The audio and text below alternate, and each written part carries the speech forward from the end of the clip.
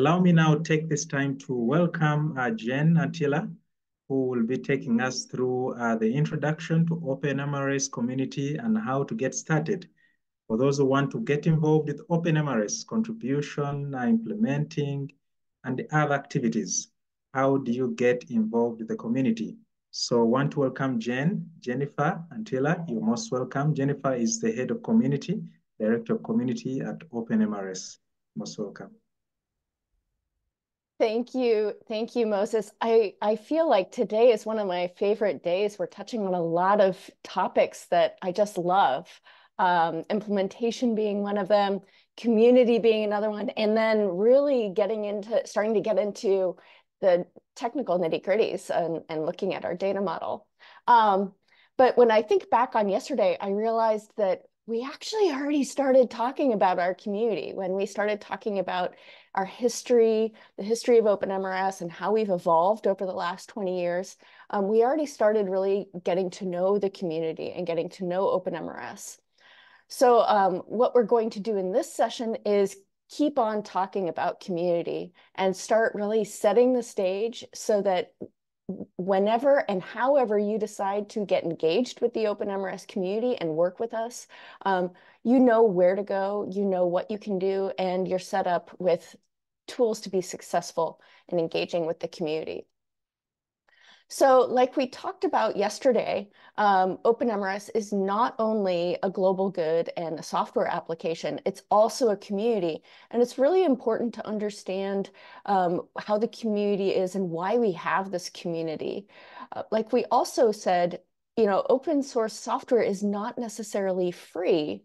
Um, and there are costs associated with it. But one of the huge advantages of working with open source software is that there are multiple vendors who are using that software, who are developing it, enhancing it, implementing it, and they actually end up bringing together a wealth of experience. This means that a particular facility or a particular country or organization who are engaging with these vendors are not necessarily getting locked into a single contract.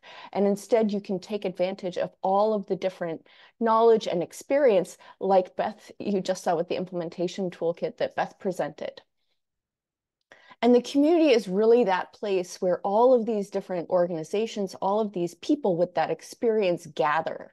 Um, it's where they discover new talent. It's where they grow their own expertise and really help enhance and maintain our shared um, code together. But what exactly is community? What does it mean to be an open source community of contributors? Well, it means three things it means that we're all coming together because we care very deeply about a certain problem or interest or passion. Um, it means that we are deliberately fostering a, a space, an environment where we can all come together around that passion and share our experiences, share our failures, share what works, um, and improve along the way. It also means that we are building and creating and solving problems together using shared practices, shared tools, and shared conventions. So community is not just a word out there. It can mean a lot of different things to a lot of different people.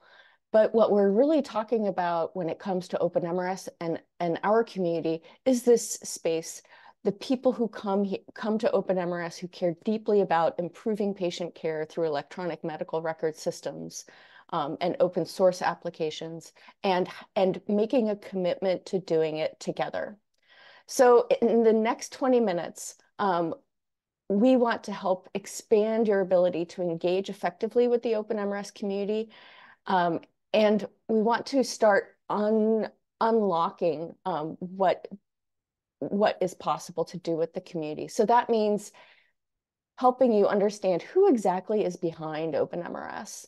Um, what are the advantages of getting involved, engaging, and contributing to OpenMRS? What are some of the factors that actually make contributions successful? Um, like we saw yesterday, our community has grown. Um, there's a lot happening how exactly do you get engaged with what you are passionate about when it comes to OpenMRS? Um, and that means that we also want you to be able to describe how the OpenMRS community is set up so that you can navigate our different spaces, our squads, our teams, and be, you know, really figure out where you want to contribute and do so effectively. Now, yesterday and again this morning, you heard about making presentations. We have a very practical activity that this session is going to start um, your journey to completing. Um, this is the very first one. We want, over the next few days, we want you to start crafting a plan for engaging and working with the community on a very simple project or solution that you're interested in or would like to prioritize.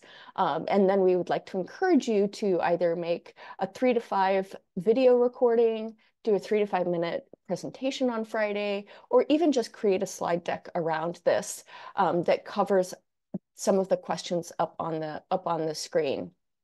So, so this would be going from what problem are you trying to solve? What kinds of OpenMRS projects are you interested in? You know, when I talk about simple, this could be as simple as I want to build a widget that does X. Um, I want to improve the patient registration feature in our OpenMRS implementation. I want to improve the OpenMRS academies. I just saw this great toolkit uh, presentation on implementation toolkit. I want to help create an academy around implementation. It can be very simple. Um, so I really recommend thinking about something small and um, some low-hanging fruit. And then think about why this project is um, important to you. Why is it a priority? Um, we also want this plan to think about what has already been done by other community members and implementers, what's currently happening, and where is this work happening in the community? Who exactly has the experience or knowledge that you need, and who is working on a similar priority or problem? And then start thinking about action. Um, what steps can you take in the next three weeks to get started on the project? What resources will you use? What might get in your way? How will you address any challenges? Now, I know I'm saying this right now and it seems really big and you're like, I don't have the answers to these questions. That's fine. Um, I'm putting these up here now because as we talk in this session today and in the, in the sessions for the rest of today and tomorrow, you'll have opportunities to start thinking about and writing down these different um, answers to these questions. So if you want to do a, a video um, or, or create a presentation for Friday, um, I'll share a link to this slide so that you have this information available and can start working on it as soon as possible. But let's dive in. Um, let's let's go a little bit behind the, the curtain and talk about who is OpenMRS and what they do. And I wanted to start out with this because we get a lot of questions about who we mean when we talk about the OpenMRS community. I get that often. I will say we, I say I've said we a lot um, already this week, and I often get called on like, who is we? So let's start looking at who who is behind OpenMRS. Um, we usually hear about three different groups of people. Um, we hear about the OpenMRS community, we hear about OpenMRS implementers or organizations, and OpenMRS users. And it really comes down to what the focus of each of these groups are. So the OpenMRS community really focuses on building and maintaining our core software, um, what you usually talk about at, here of, as the core global good product. And this is the product that many OpenMRS implementers and organizations then customize, configure, and deploy at health facilities at the country level. They are the ones who are creating distributions like Kenya EMR or Nigeria MRS and providing that implementation um, guidance and technical assistance and support to health facilities in country. Some of them are also contributing their improvements to the OpenMRS code back into the community. So implementers, you know, kind of span the global community and what's happening on the ground in country. And then OpenMRS users are those health workers. Um, it could even be stakeholders in country who are using OpenMRS data to improve patient care or monitor what's happening at a country level around um, patient health. So let's let's start diving in a little bit more um, to who exactly is are these organizations? What are they doing? Um, some of you might have seen this graph depicting our phenomenal growth over the last seven years. Um, this is we started collecting implementation data in 2016, and since we started doing that, you can see here that We've gone from 1,100 facilities using OpenMRS to over 8,000. Now, the OpenMRS community our, ourselves, I don't do the implementation. Um, Moses doesn't do the implementation, but it's all of those organizations. There are over 50 organizations who are doing that customization, that configuration, and deploying OpenMRS at the facilities. And so those organizations that share their implementation data with us their efforts are reflected here and they play an instrumental role in helping us achieve our mission of improving patient care. So let's talk about code and actual OpenMRS features and functionality. Um, some of those organizations, not all 50, but some of those organizations are collaborating and working in our community to build that those shared and maintained OpenMRS code assets um, that are used by other implementations worldwide. And so you see here um, a word cloud of all of the different features and um, and actually activities that different organizations have worked on in the community that and this is just from 2022 um, we haven't even put together what we've done in 2023 and this is what they have all built together. And the number of, of organizations who are building those things together have actually been growing. So we've gone from like three or four way back in 2004, 2005, 2006, um, to 17, 16, 17, 15 in the last three years. This number fluctuates, of course, because not all organizations are in a position to be highly engaged and contribute to the community every single year. And that's perfectly okay. Um, but what we're seeing is that there are developers from these different organizations, and we even have community volunteers who are scaling out and sustaining OpenMRS by making these code contributions. And you can see here, these are this is this is our list of top 30 devs. Um, those those developers in our community who have had the most um, code commits accepted and merged into our community code. And they actually come from many of these different organizations who have decided to contribute to OpenMRS. Now, this is on the code side.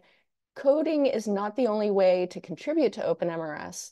Um, there are many who are helping create um, guidance, our developer guide, our implementation guide, the implementation toolkit that you just saw, um, designing, creating designs, mentoring other people in the community, creating and maintaining our website, um, or even, even organizing events like this, our OpenMRS Academy, our annual conference, our virtual meetings, all of this is done in with volunteers and people from organizations who are contributing this to our community.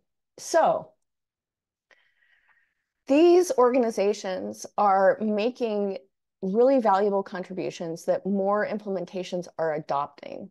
So when we are talking about adopting OpenMRS, we're talking not just about adopting our software, but we're talking about adopting contributions that other organizations, that other people in our community are making.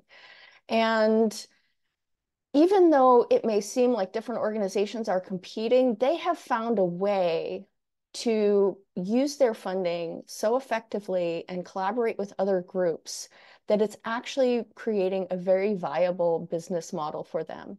Um, it's reducing their risk because they're learning how to not only use OpenMRS technology, but navigate and collaborate within our community so that whatever they do build using our technology or um, guides, documentation, events, to get their contribution adopted by others in the community.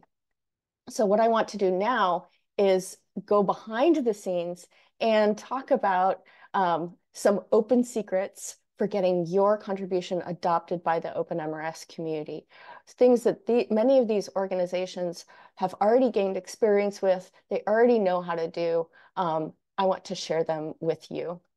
So the first open secret, successful contributions result from engaging with the community as much as using OpenMRS's tech. What exactly does this mean?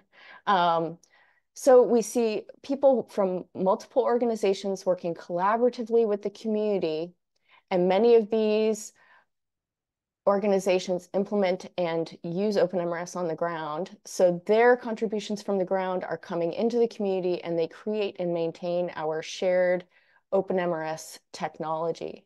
Um, so it means that we have to share, they have to use a lot of the same technology so that they can reuse what others have used, but it also means that we have to find a way together to collaborate. Um, and this is where it, it's not just about the technology. Um, these organizations have discovered that it takes finding a shared purpose, figuring out what priorities they share with other organizations. It takes communication, a sense of ownership, having taking responsibility for their contributions. Um, take, we all know it takes resources, but it also takes knowledge and trust. Um, it really does take some time to build relationships and trust with others in the community. And so that so that when you're sharing decision making um, responsibilities that that you're a part of that decision making process. Um, and then and then also figuring out, you know, not just how to use our tech, but how to use our community conventions, our norms, the tools that we use. Um, I'm not talking about JavaScript or Java. I'm talking about how do you go on our discussion forum talk and get information? Um, how do you use our wiki? How do you use our Jira? How do you get code accepted into one of our GitHub repos? Those are, there are tools and there are conventions that our community has established that really helps that, helps make it easier. So I have a quick Menti for everybody, um, and you can use that same code. I want, I want to understand, I want us to look a little bit at why would people even um, decide to contribute to the community? What what is it? It's it's not it's not just a question of knowing the technology. You have to get to know the community. Why would you even do that? Um, so I'm going to move over to the uh, Menti, and I just want to hear from everybody very quickly. Why contribute to open source? Why contribute to OpenMRS? What's in it for you? Um, so I'm putting the the Menti code in the chat. Um, share, share us your thoughts. Why, why, why would individuals, why would organizations contribute to an open source project like OpenMRS? To give back to the community? Yeah, um, definitely. Like using that code, like we said, that code is free. Um, giving back is a way of paying it forward to others. Build a better world, share information, learn from each other, grow your skills. You get better results when you collaborate. Um, you help others and you learn from others. You want to make a positive impact, um, improve your programming skills. The quality improves over time and you're building an ecosystem for wider good. Yes, so that you can add your own contributions to the code. Maybe there's something in our OpenMRS product that you're not seeing, you want, you have it, you wanna see it. Um, you can only build a large complex project through collaboration. Excellent point. The future betterment of modules and make one solution for all, improve the functionalities of the product, to help people, to permit OpenMRS to continue and grow, remain relevant, to help others build on the years of experience with experts. Maybe you want to become one of those experts. You want, you want to have a, a become an OpenMRS guru. You want to share your experiences customizing OpenMRS for a long time. Um, create some sort of exchange where you want the community to learn and adapt at the same time, learn from what others have contributed. Um, contributing and helping other people, work on real life projects and, and get some guidance and collaboration on that. Community is an excellent place for that. Like I said, we like to, we welcome failure. Um, and so our community becomes, becomes a great place to experiment, innovate um, iteratively, to have collective knowledge in solving problems, to learn what others have tried and what's worked for them, what hasn't worked for them, better feedback from stakeholders, be a part of a project that strives to make healthcare more accessible and efficient worldwide. These are fantastic. Um, and in fact, I'm going to go back to our slide deck because they really echo what, uh, what we have heard from other implementers um, on the ground. Let me just find that slide and we'll, I'll share what we've heard from them. Um, so like many of you have said, um, you want to make the most of limited resources. You want to access a pool of talented designers or developers. You want to better understand the diverse landscapes, learn from each other's experiences. Um, there are also some organizations that want to reduce siloed development and duplication of effort. Um, or they want to create and access a collection of reusable solutions. Um, they also know that there's a greater likelihood that their solution will be adopted by multiple implementations when they work collaboratively in the community. And then really a great, uh, one of the, one reason why organizations and individuals come to the community is because you can then look, see a great diverse range of perspectives that will then inform different technical approaches, use cases, designs, and solutions, improving the quality, making them more robust.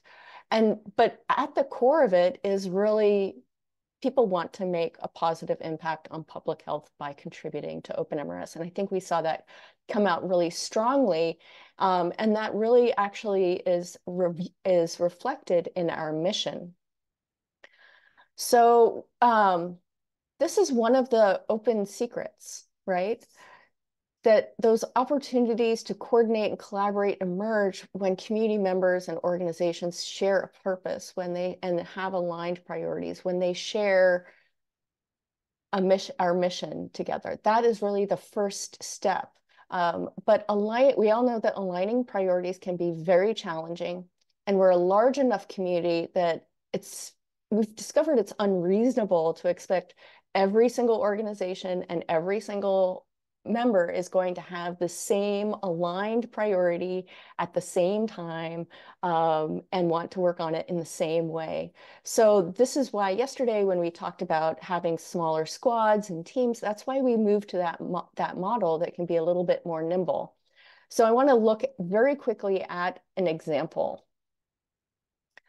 So in 2023, um, just this last year, we noticed that there were four or five organizations that were talking about lab orders. Um, they were either wanting a solution, had experience with lab information systems and wanted to connect it to OpenMRS, or they were thinking about building a solution, or they were actively working on something, or they said, you know what, we need lab, we need some of this stuff in OpenMRS 3. It's not there yet. And they decided they wanted to to work on it with the community, build something that could be reused by other implementations. So there were kind of four questions that they started thinking through. Is my is the solution to this problem around lab, lab orders, lab tests, is it very specific to my implementation or is this something that other implementations can use if we design and develop it right? Um, is there already a solution I can reuse or maybe improve if it doesn't completely meet my needs? Who else is working on this solution? And then how can I work with others on this solution? So like I said, there were already four or five organizations who wanted to work on that. It was enough to, to kind of bring people from those organizations together and put this put OpenMRS 3 lab orders on our shared community product roadmap. And they started working together. Um, and that actually led to greater interest by more groups on the ground who are working on the same thing or had that same priority over time. And so now today we have a what we call an O3 lab and Tests Squad, and they are actively working on O3 labs and tests and doing it collaboratively. So as we can see, the thing that started this all off were people communicating, people sharing their priorities, and then discovering that they had a shared priority. And I really think that this slide is, is important. Figuring out what your priority is, what you're passionate about, at a more micro level is really important because if you don't know where you're going with the community, if you don't know what you want to focus on, um, it's especially in a community as large as our own, it's going to be very um, difficult to find the right place, find the right repo, find the right people to work with. So let's go back to Mentimeter. You can use the same code.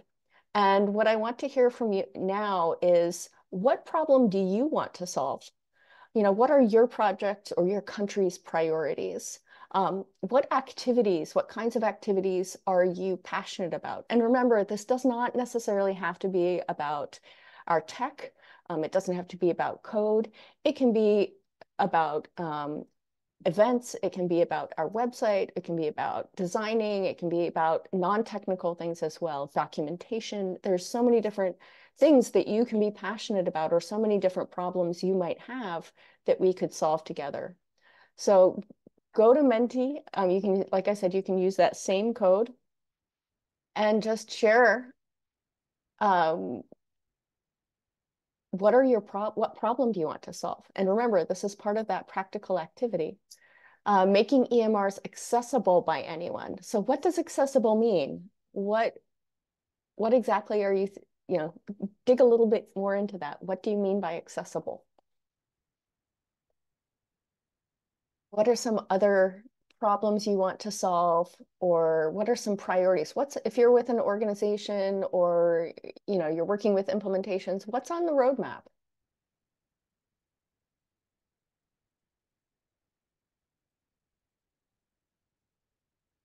enhancing data collection and storage of HIV patient data, uh, have students practice on training instances of OpenMRS, have a way to work with CAGs in, in OpenMRS, better medical care, clear and complete documentation for implementers, developers, and contributors.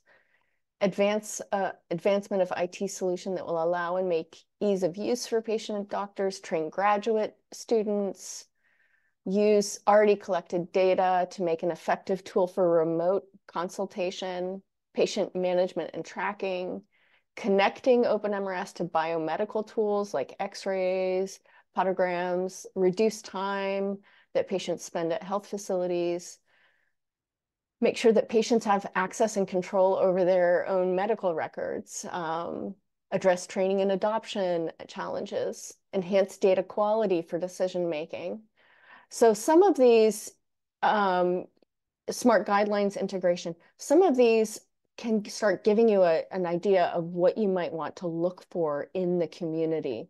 So if you're interested in enhancing data quality, you might want to look in our community for who else is interested in that problem. Um, where does that start? Maybe you want to look at what the community is doing with regard to quality assurance. Um, this is fantastic.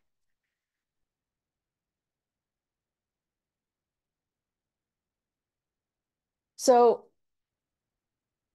this actually kind of sets us up for the next and final open secret that I am going to share with you, right? Because now that you know a little bit about what problems you want to solve, like I said, this can start helping you figure out, well, who else is working on this in the community? What's happening? Um, and where do we, where do I go from here? Now that I know what I want to focus on. So the next open secret really is take some time and get to know the community's history, values, and dynamics. Really get to know how we work. Um, and why is this important? Well, many people have said that OpenMRS feels a little like a home, like a family. And so you can almost think about it as what happens when you move into a new neighborhood, um, right? When you move into a new neighborhood and maybe there's a, a, a neighborhood event or neighborhood party, something happening in the community, it's a lot easier and enjoyable for everybody if you've got spent some time getting to know each other first. Um, and then eh, before you kind of maybe do something for the community or bring something to the community to really wow them um, with, with your contribution, right? So it's the same thing with OpenMRS. If you, if you take a little bit of time to get to know the community, how we're set up, get to know different people in the community, um, it's and you can even start making really small contributions, comments, questions, let people get to know you, then it's going to be a lot easier for your big idea or your big contribution to be accepted um, later on. So part of what this means in an open source community specifically is understanding our, let's start with our, our values, because yesterday we started with our history. So what exactly, how, you know, what, what is behind how we engage with each other in the community? This kind of takes um, some, takes the application of some, some values and principles. So this means making open exchanges, right? Sharing your ideas early and often, um, collaborating, reusing existing things, um, right? So so maybe a contra maybe you see something that somebody somebody has contributed to the community, you want to improve it. Maybe somebody's already started working on a patient portal that um, will give patients access to their health record and you want to improve it. Well, start making a small contribution to that, show that it's valuable and and people will get to know you and appreciate you. It will help grow your grow your reputation. Um, and if you do this openly in the community, everybody's getting to know you. I know that's hard. Um, it was something that it took a while for me to um, get used to posting openly on talk and public forums um, but really it's it's an amazing experience. Um, you get to learn so much from other people. And it really is like our community really is like a um, a family. So we're very friendly. We we welcome everybody. Um, and and that's kind of about what we mean about being about being transparent. And this is all kind of what we talk about as the open source way. Um, and this is actually what many huge open source projects like linux they all they all kind of start with some of these principles and values and openmrs is the same. Um, that's great but we're so big. How do you know who's doing what? You've heard you hear about squads teams. How how exactly you know how exactly are we set up? Um, you might be able to, to, you might know what you want to engage in. You might be ready to engage openly and, and transparently. You might want to reuse things, but how are we actually organized? So very, very broadly, um, this is what our community looks like. Um, we have spaces where people come together to work on a very specific solution to a shared problem. Um, and that happens in squads. It might happen among a few different um, individual contributors, for instance, improving our backend. Um, it might happen in teams. And like I said, these groups are all kind of working at their own pace on their own priorities. Um, and we have some groups that cut across our squads and teams and individual contributors and these groups, the Technical Architecture Committee and our OpenMRS3 Roadmap Cooperative, they really kind of keep the pulse of what's happening across all of those different squads and teams and individual contributions and help kind of make sure that even as we give the autonomy to those groups to move forward as they want, that we're actually all still moving in the same direction and using enough of the shared approaches to enable quality code to enable a quality product and make sure that other implementations can use what we're creating. And then the OpenMRS community also has um, a legal entity, a legal business, OpenMRS Inc., with a board of directors and an executive team that represents the community's legal and fiscal interests.